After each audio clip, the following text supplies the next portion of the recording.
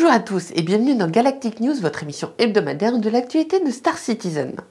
Mardi, grâce à la publication de travaux scientifiques, nous avons pu en apprendre plus sur le système Cano, qui abrite une espèce extrêmement rare de plancton possédant une forme d'intelligence, les Canolisca. Cette espèce a d'ailleurs été protégée par le Fair Chance Act grâce aux travaux du docteur Satomi Bechtel. Nous fournissons d'ailleurs un lien vers ces travaux. Jeudi, l'Office du tourisme de Microtech a fourni de nouvelles informations concernant les lunes de la planète. Cela permettra aux futurs touristes d'être bien préparés avant leur expédition. En parlant d'expédition, l'information tombe à point nommé. Le Carac est en cours de test dans le système, mais seuls quelques privilégiés y ont accès. Mais cela n'a pas empêché quelques citoyens chanceux de pouvoir le visiter.